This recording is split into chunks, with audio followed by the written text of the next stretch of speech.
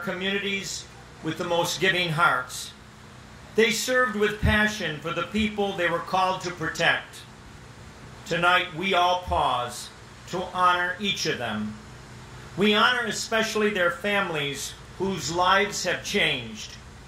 Lord, give them the hope and the strength they need as we recall each of our heroes that they may experience comfort in knowing that we were blessed to have each of them as part of our lives.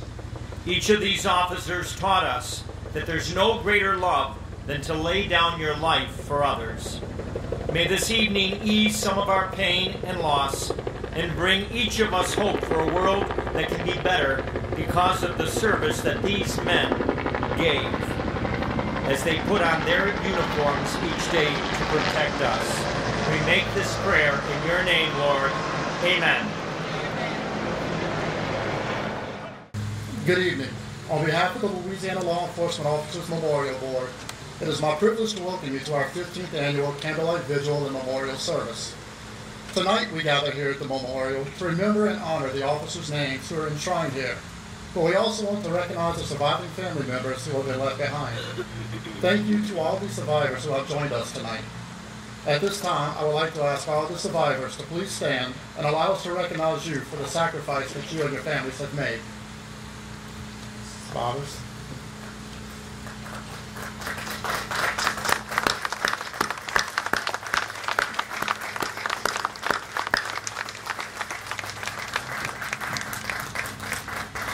Thank you.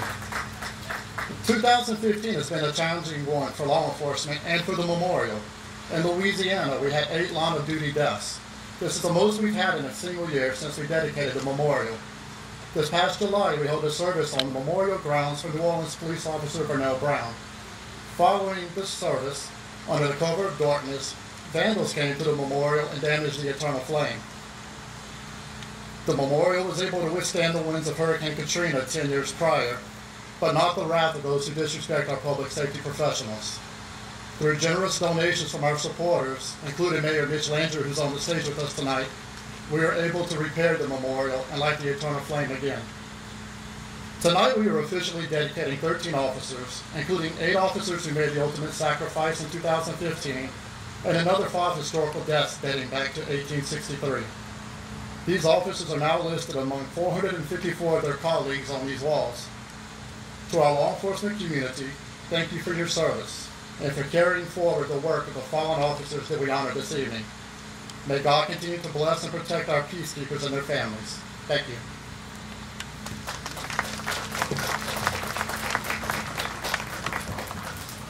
And as was mentioned, New Orleans Mayor Mitch Landrieu joins us tonight, and he'd like to say a few words to you. Good evening to everybody. That is here to all the law enforcement from afar and near. We are all, as I say, uh, one team that helps keep our people safe. Matt, I want to thank you uh, to the friends and family of all of the fallen officers. I know that we're going to uh, remember 13 officers uh, that have been taken from us. I'd like to, as a matter of personal privilege, also just keep in our prayers Charles Keating IV, who was uh, a veteran, a Navy SEAL member that lost his life this week uh, in a firefight in Iraq uh, against ISIS. And if we can keep him and his family in our prayers, uh, I would appreciate it. The chief and I, just this past week, uh, participated in the graduation ceremony of the newest police recruit class, and we started another one. And always during our talks with them, we talk to them and thank them about signing up, showing up, and being willing to make the ultimate sacrifice. And yet here we sit today, having to remember our brothers and sisters that actually made it. We hope it never happens, but we know it's always possible. Said many times that in the United States of America, freedom is not free. And some people pay with their lives. And your family members did that. In the city of New Orleans, and I know that each one of the different police departments will remember their own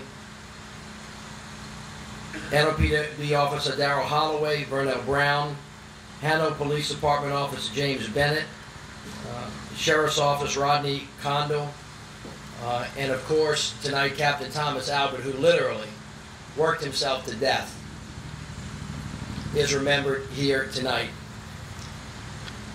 Sometimes you don't always get to know personally all of uh, the officers, but I knew Rodney Thomas well, and his son is with us tonight. I can remember poignant moments when Rodney Thomas was working, protecting the Carrollton playground where kids played and grew up, or driving around the second district, and have fond remembrances of sitting there talking to him while he helped keep the community safe. This individual, along with all of our fallen brothers and sisters here, made up the adage of community policing, being part of the community. He and all of the other officers that were taken from us loved what they did, were willing to sacrifice their time away from their families, and to make the ultimate sacrifice to protect us. And for that, we will be forever grateful. Our prayers and our thoughts are with you. I thank you again on behalf of the people of the city for what it is that you guys have done and the sacrifice that you made. And our thoughts and prayers will be with you always. God bless you all. Community. He and all of the other officers that were taken from us loved what they did, were willing to sacrifice their time away from their families, and to make the ultimate sacrifice to protect us. And for that, we will be forever grateful. Our prayers and our thoughts are with you. I thank you again on behalf of the people of the city for what it is that you guys have done and the sacrifice that you made. And our thoughts and prayers will be with you always. God bless you all.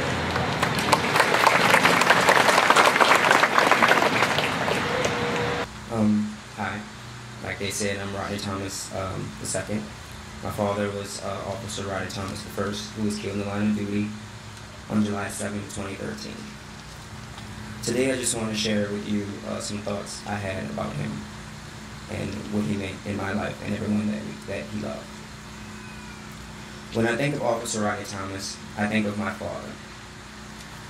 I think of how he loved coffee, breakfast food like blueberry pancakes, bacon, and hash browns with everything in it.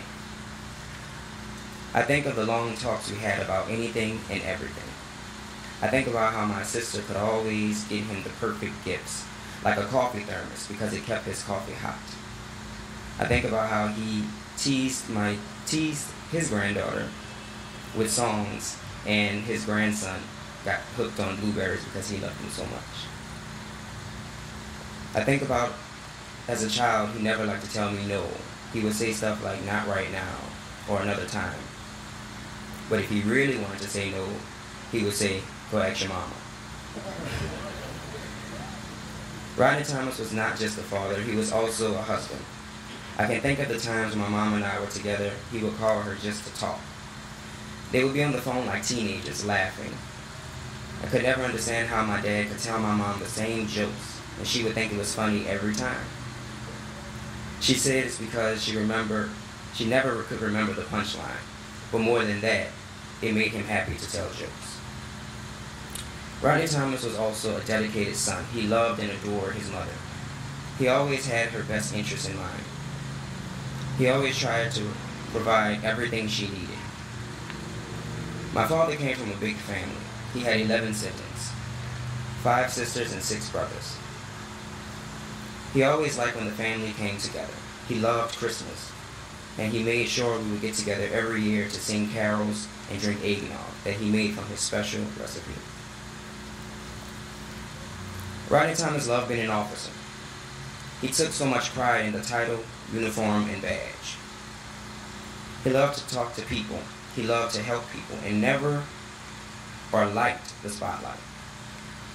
I remember asking him why did he want to become a police officer. He said he wanted to positively impact his community.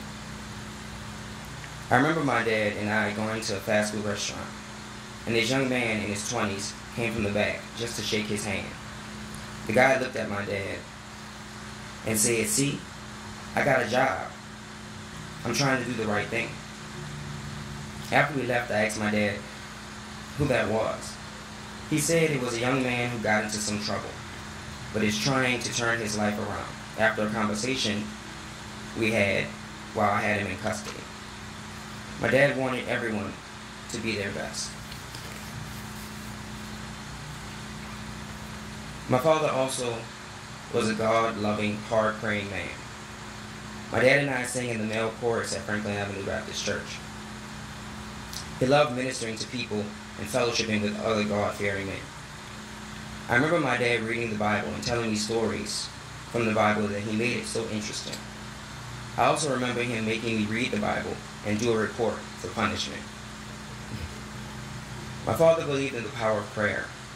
We say grace over every meal, even at family gatherings. I can remember my dad praying with his praying um, for anybody that he loved. I can remember him praying on the phone with his, with one of my aunts when her life when things were going wrong in her life. Officer Rodney Thomas was never a wealthy man, but he was always giving. He gave of himself. That made him a rich man, not with money, but with life. I must say I miss him, but I am proud to have him as a father and a role model. I know my father wasn't a perfect person, but I always felt he was a perfect father. Thank you. Orleans Parish Sheriff Marlin Gusman to honor Deputy Rodney Condall. Of course, it's never easy to lose anybody, especially to lose one of your own. Uh, Deputy Condall was a great colleague and a friend to his coworkers. We have several of his coworkers here. It's Major Winfield, Captain Ruiz, Lieutenant Holmes. They all described Deputy Condall as a solid, dependable worker. He spent 16 years of his life working for the Orleans Parish Sheriff's Office. Deputy Condall joined the Sheriff's Office in September 1989. He did a nine-year stretch, and then he took a break and came back to us in 2008. Graduated from the Post Academy in 2009. He worked in the Old Parish Prison, dealing with our most difficult inmates, and he did so in a professional manner that always resulted in good evaluations from his supervisors. But more than that, he was a good friend to many of his colleagues. So, Mrs. Condall, while we are sad, saddened that he's no longer with us, Deputy Rodney Condall is an example for all of us. He set a standard for decency and service that we should all emulate. I want to thank especially the Law Enforcement Memorial, uh, Melanie Canatella and its Executive Director, Officer Patin, for honoring our fallen hero. I want to thank Deputy Condall's widow, Andrea Condall, and the entire Condall family for their grace and their sharing under these difficult circumstances. On behalf of all of the men and women of the Orleans Parish Sheriff's Office who are gathered here tonight, and those who are not here, I want the family to know that we will always remember Deputy Rodney Condall. We are deeply honored that you would share him with the OPSO family. So tonight, I want to express my appreciation for Deputy Condall. His watch did not end on January 28, 2015, because he continues to live through us. And now I'd like to introduce Chief Robert Anderson of the Housing Authority of New Orleans to honor Officer James Arthur Bennett. Thank you. Um, at James's service, I quoted the words, Blessed are the peacemakers, for they shall be called children of God. A quote from Matthew 5 9, which can be found inscribed at the National Law Enforcement Officers Memorial in Washington, D.C., where over the, na- uh, the names of over 20,000 law enforcement officers are remembered by being etched in our nation's glorious history.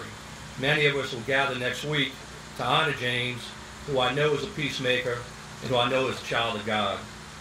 James' mother, Choan, his brother Anthony, also a brother officer with the Seattle Police Department, his sister Monica, his son Justin, who are all with us here today, allowed us to sh- share James for two years with the Housing Authority.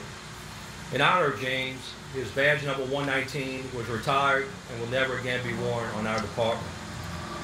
Unfortunately, many of us never really get to know our comrades as well as we, at work as well as we should. There are many things I learned about James, unfortunately, after his passing, but one thing I did know about James from day one was his love for his family, particularly his mother. James was a devoted son who constantly talked about his family, but I never knew how supportive and caring he was of his mother until I spent some quiet time with Miss Choan and listening about how she raised our family. It was also clear that James had a passion for police work. I enjoyed hearing stories from his brother Anthony, Detective Vega, Captain Kevin Kwan, they were all reminiscent about the good old days patrolling on the West Bank. Of course, they had some funny stories, some sad stories, but it talked about the brotherhood that these four officers, uh, you know, shared with each other. I also knew that James enjoyed powerlifting, but I didn't know that he also liked to build models of military memorabilia, such as planes and tanks. The pain that we still feel caused by this senseless, brutal act has not diminished, but I can assure you that our law enforcement community will not rest until the individual responsible is brought to justice. The Housing Authority New Orleans Police Department continues to honor James' memory daily by continuing to provide protection and service to our residents and tenants. To my brothers and sisters in arms in the law enforcement community, our profession is being challenged like no other time in history. But I do have faith when we meet these challenges, become stronger, more confident, more intelligent, more professional law enforcement officers. So on behalf of the Bennett family in HANO, I want to thank everyone who has and continues to help you the deeds, thoughts, and prayers.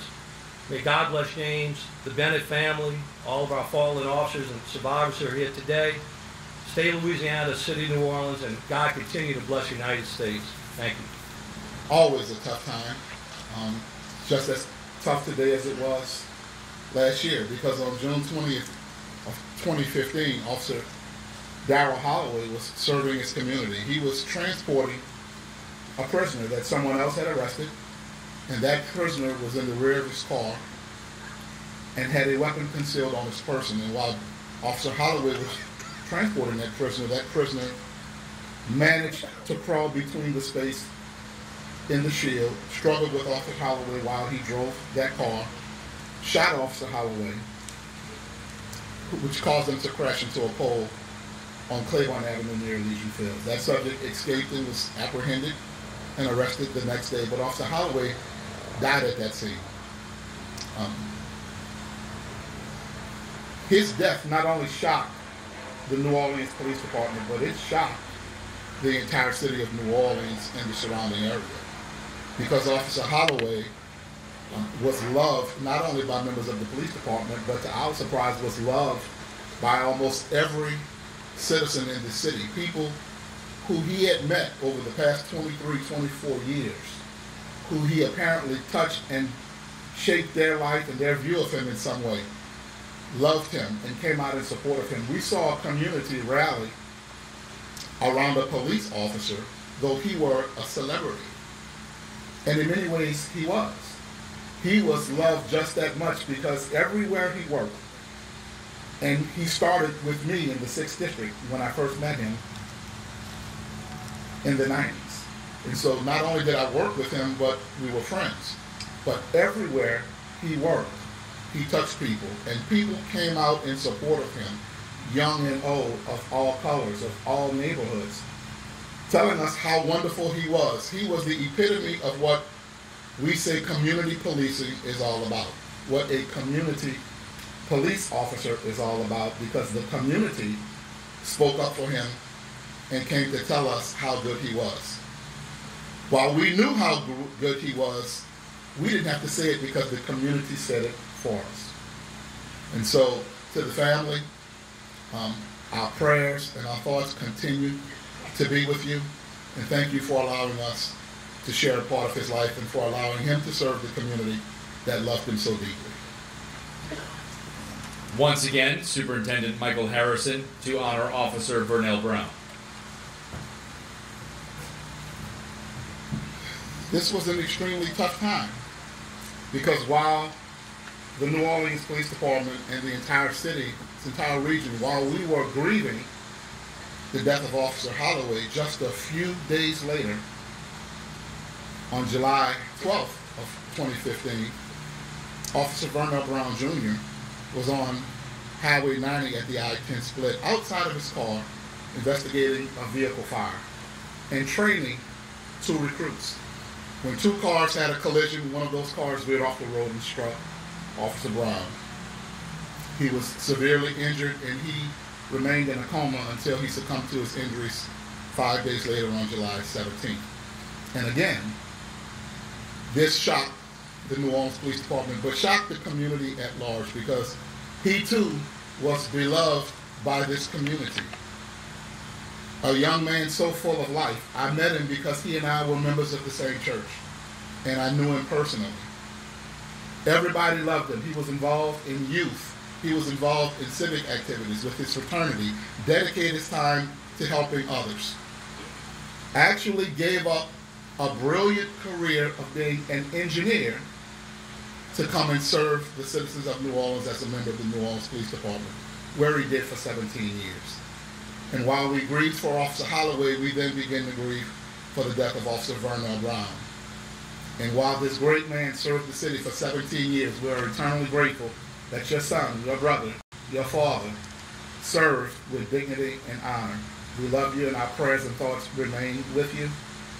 And you're always, you're always, you will always be a part of the New Orleans Police Department family.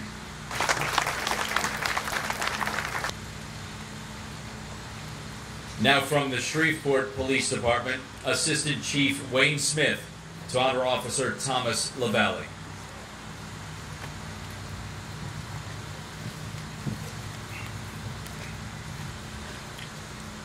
Well, good evening. I'm Assistant Chief Wayne Smith and uh, with the Shreveport Police Department.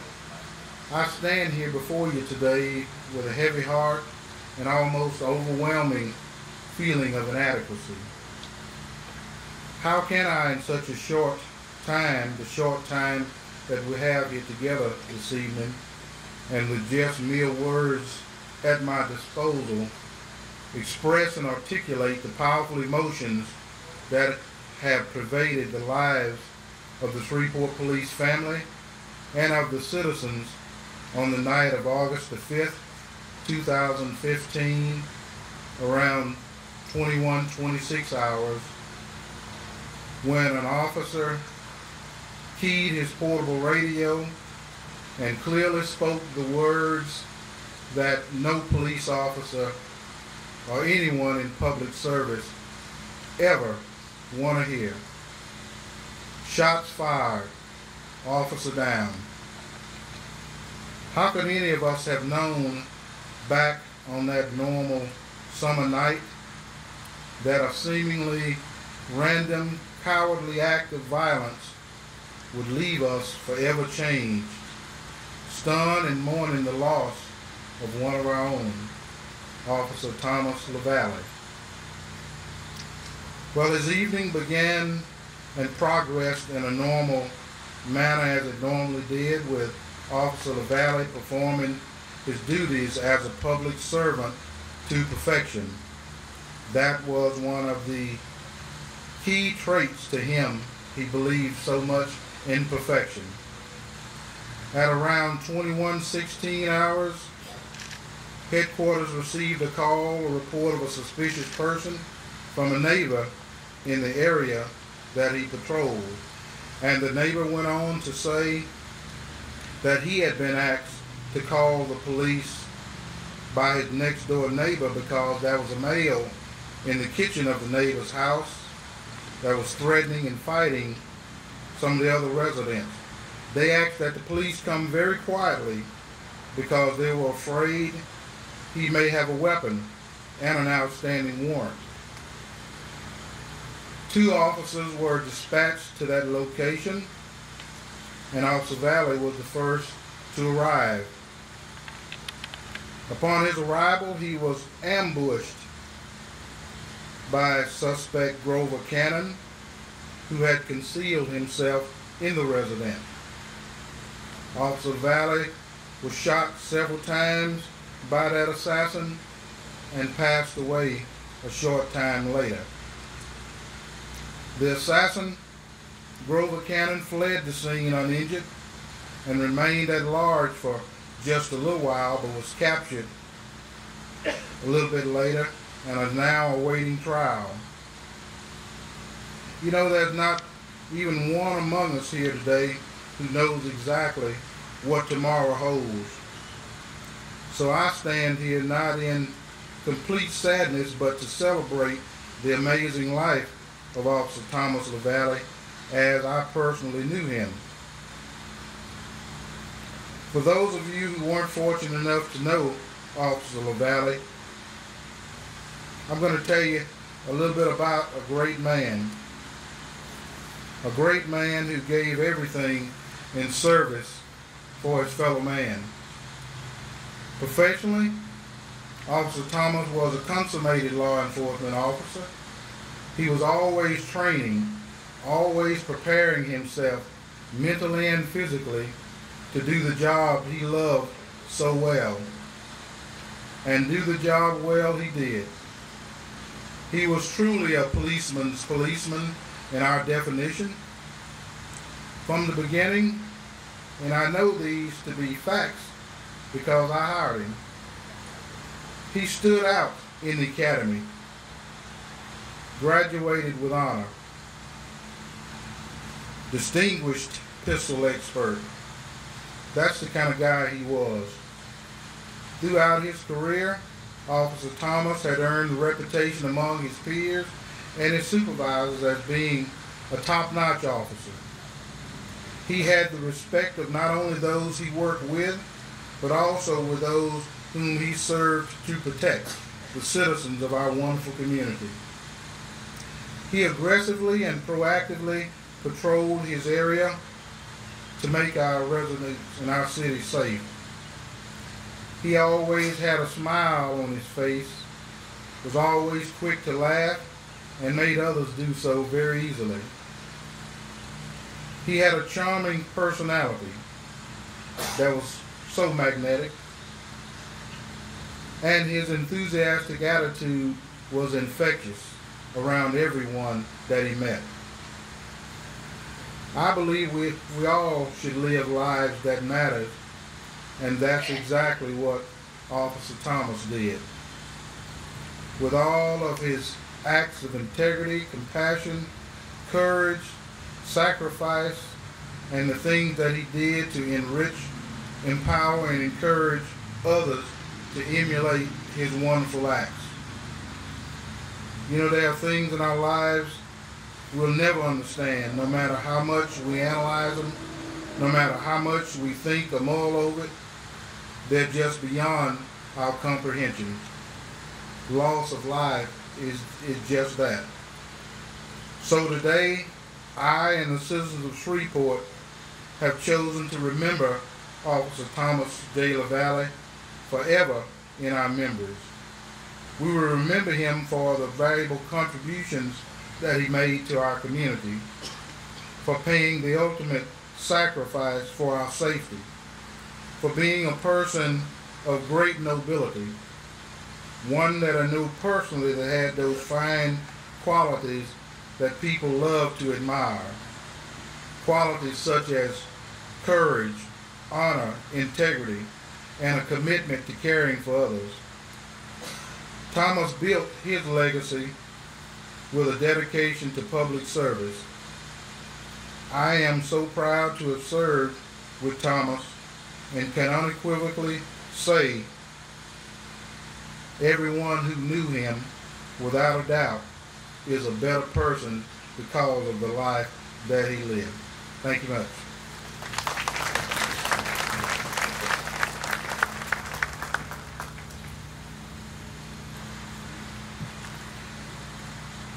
Now, Captain Chris Guillory, Louisiana State Police, to honor Senior Trooper Stephen Vincent.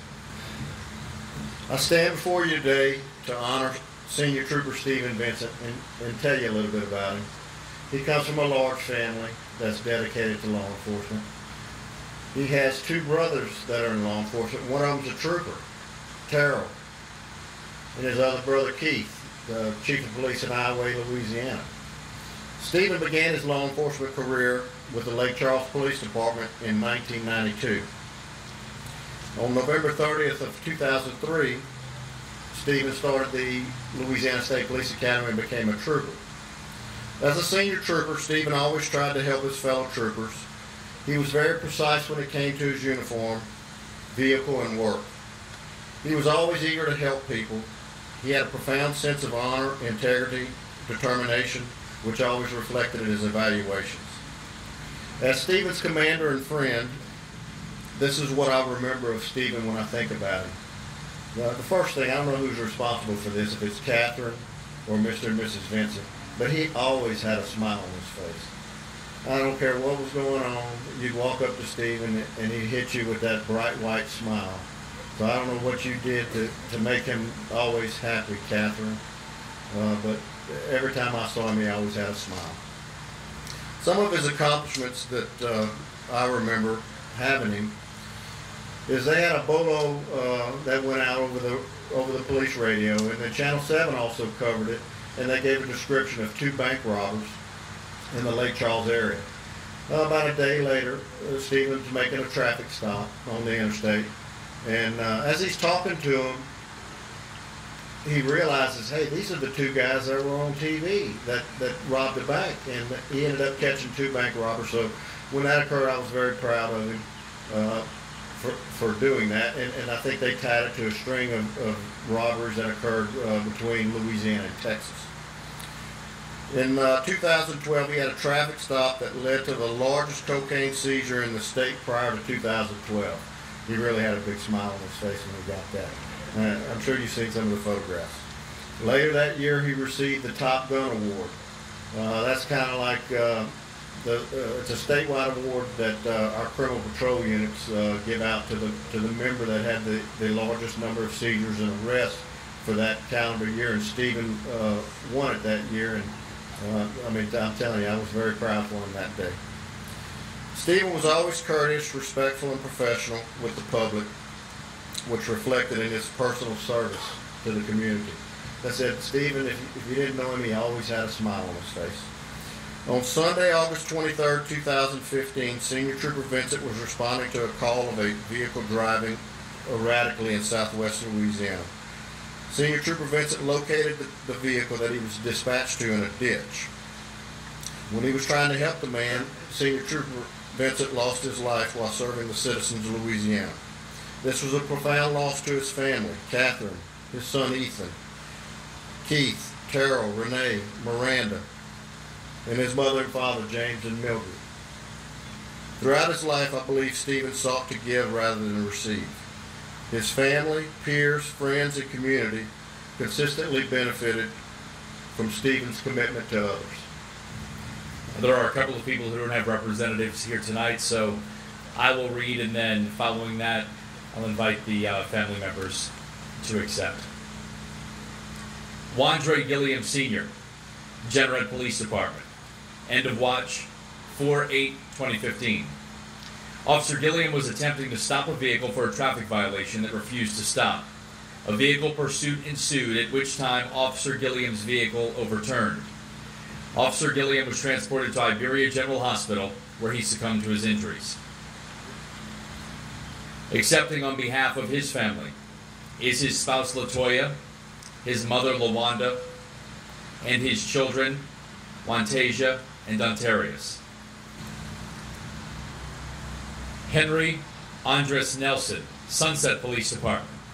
End of watch 826 2015.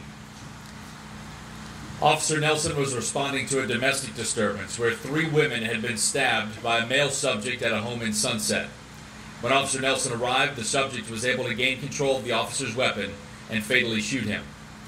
The suspect fled the scene and barricaded himself inside of a gas station, but was successfully apprehended by the SWAT team. Officer Nelson was airlifted to a hospital where he succumbed to his injuries. Accepting on his behalf tonight, his daughter Alyssa Thomas. The plaque is being presented by Melba Gilbo with the Sunset Police Department. Now I'd like to introduce retired Lieutenant Mavis Johnson of the Baton Rouge Police Department, who will perform a special law enforcement version of Amazing Grace.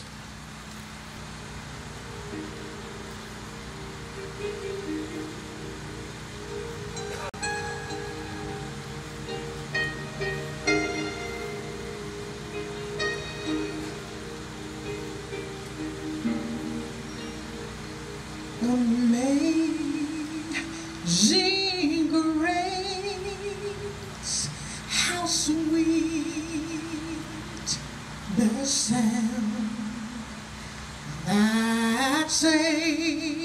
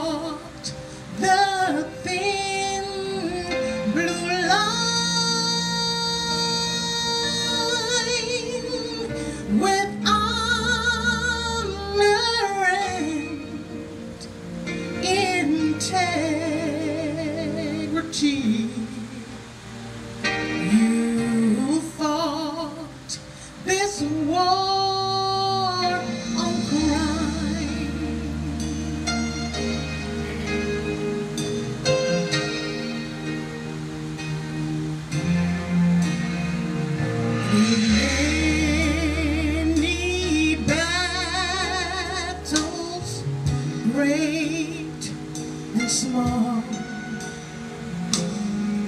your dedication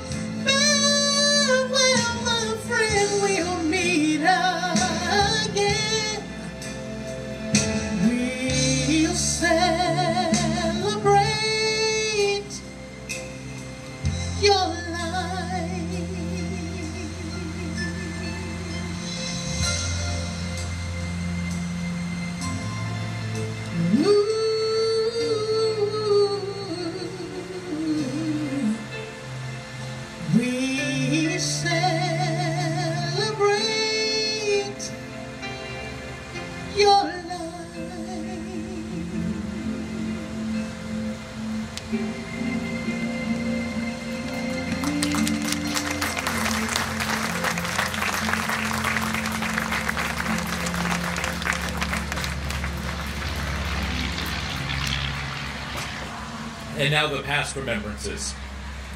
The National Law Enforcement Officers Memorial and the Louisiana Memorial research historical deaths that have been forgotten over time. Once these deaths are verified as line of duty deaths, these officers are formally remembered for their sacrifice. Tonight we honor five officers who will finally be recognized on our walls for paying the ultimate sacrifice. First, Assistant Chief Wayne Smith with the Shreveport Police Department to honor Officer James Rosser, end of watch 226 1873. I guess as everyone can tell, uh, I came along about 86 years or so uh, after this had occurred. But you know, I read a lot and study a lot about the history of Shreveport and our police department. And this gentleman uh, surfaced as one of our best. Back in those days, uh, as with some other cities, uh, we had difficulty with, uh, with plagues that seemed to spread. And one of his duties that day, as I understand it, was to transport someone who was ill to a place of quarantine to keep others safe. And as a result uh, of that effort, he himself became ill and infected and later succumbed to that. But I know in my heart, without having ever met him, but from the things that I read, uh, he was a wonderful and dedicated public servant, just as so many others have been.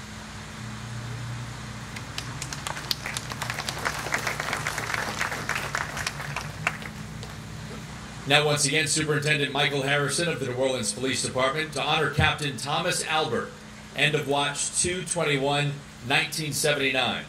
Representing his family is his wife, Miss Gloria Albert. Throughout the history of the New Orleans Police Department, there have always been people who stood out and were unique and showed themselves worthy of true honor and in 1979, many members of the New Orleans Police Department were on strike. But there were some who showed up every single day to serve their community. Every single day, while many were on strike, Captain Thomas Albert showed up to work. And while that strike lasted over two weeks, he performed his duties upwards of 20 hours a day. And on February 21st, 1979, after working about 20 hours. He suffered from a heart attack and passed away while giving his service to the citizens of New Orleans, and for that, he will be forever remembered.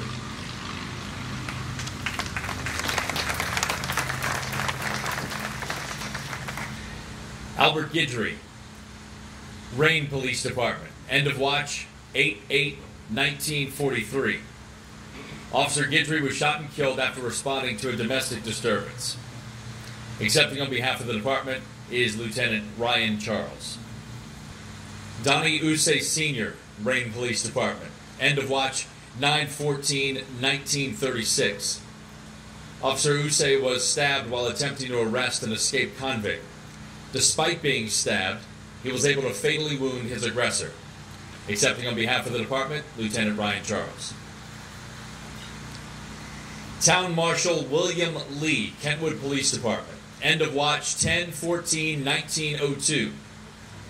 Marshal arrested and fined a subject $50 for selling whiskey illegally. Several weeks after this arrest, Marshal Lee was walking in front of the subject's store when he was shot with a 38 caliber rifle, fatally wounding him. Accepting on behalf of the Kentwood Police Department is Chief Michael Cazzaruni Sr.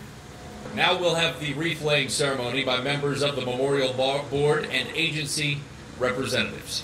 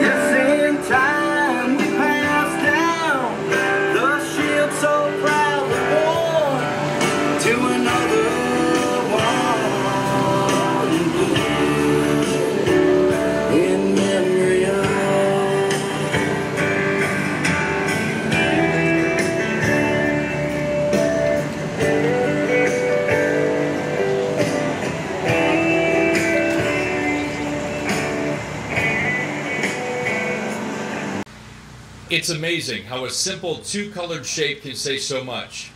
To some, it's only a black rectangle with a thin blue line in the middle. To others, this symbol speaks a thousand words. It holds the stories of life on the beat, roll call room antics, bonds that cannot be broken, and unfortunately, tears that were shed over coworkers who have made the ultimate sacrifice. The top part of the rec- rectangle represents the good you, me, our children, members of society who live a normal, everyday life. The bottom represents evil, those who live among us with ill intentions, those who cause harm to others. And the most important part of this symbol, symbol, the thin blue line, which represents the officers who serve and protect our communities daily, the ones who stand between good and evil. The law enforcement community is a family. When an officer pins on his or her badge each day, he doesn't do it for the money, the status, or the power. They put on the badge to better their communities, to make a difference, to protect you and me. They display courage, even when they are afraid. Courage is not the absence of fear, rather, the conquest of fear. An officer does not think twice before running towards danger. And while running towards it, he also understands why you are running from it. The thin blue line gets bent every time an officer dies. We are one. We are strong. We may bend, but we will not break. The thin blue line is scarred from the many who have died keeping evil at bay. The thin blue line may stretch, but it will never be broken. It will never be broken because of those men and women who have the courage to stand up in the face of danger and put their lives on the line every day for you and for me.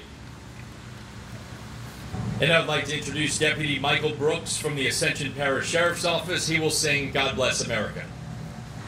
God bless America, this land that I love, yes.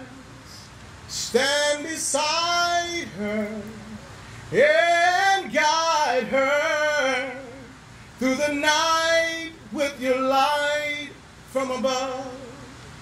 From the mountain to the prairie to the ocean wide with foam.